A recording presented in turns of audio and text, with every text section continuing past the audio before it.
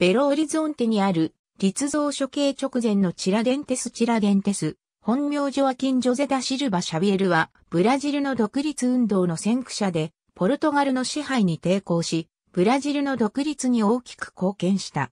最終的に、ポルトガル政府に逮捕され処刑されたが、現在は、ブラジルの英雄として広く、国民に知られている。ティラデンテスとも呼ばれる。ブラジル南東部のミナスジェライス州産、ジョアンデルレイの近郊にある小さな村の貧しい農家の息子として生まれた。両親の死後、名付け親に引き取られビラリッカに移り住んだ。チラデンテスは、下界だった家庭教師に育てられたため、高教育は受けていないものの高い教育が施され、歯科医師になった。チラデンテスとはポルトガル語で、歯を抜くという意味を持っていて、この通称は彼の職種に由来している。彼は歯科医師の他にも、牛追いや炭鉱夫などいくつかの職業を経験しており、ミナスジェライス地方の竜気兵連隊の一員でもあったが、地元貴族ではなかったため昇進は少尉泊まりであった。チラデンテスは、金に恵まれた地方に住んでいたことで養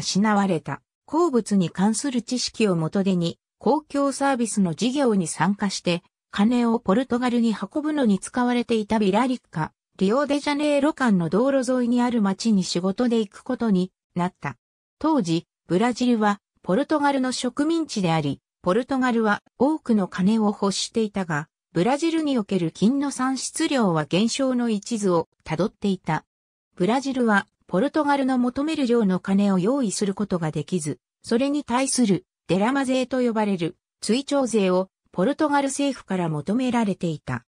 赴任してから彼は金をはじめとする多くの鉱山資源がポルトガルに流れ出しているのを目の当たりにして、いかにブラジル人がポルトガル人に搾取されているかを知った。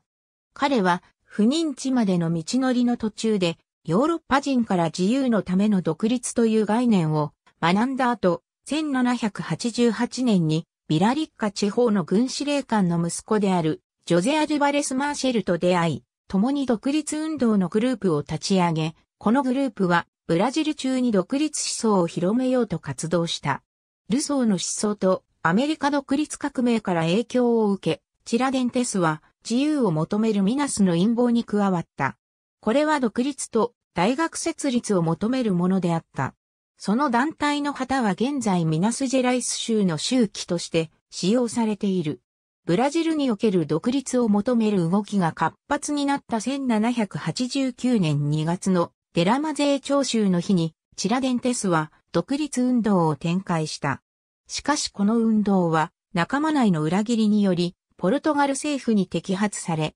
1789年5月10日に逮捕された。裁判は3年にわたり続いた。11人に死刑が宣告されたが、マリア一世により首謀者とみなされたチラデンテス以外の10人は流刑に減刑され、チラデンテスは処刑が確定した。リオデジャネイロで公主刑に処され、遺体は切断され、晒された。去年45。チラデンテスの名は19世紀末からブラジル独立の英雄としてブラジル中に知られるようになった。彼が処刑された4月21日は1889年にブラジルの祝日に制定されている。ありがとうございます。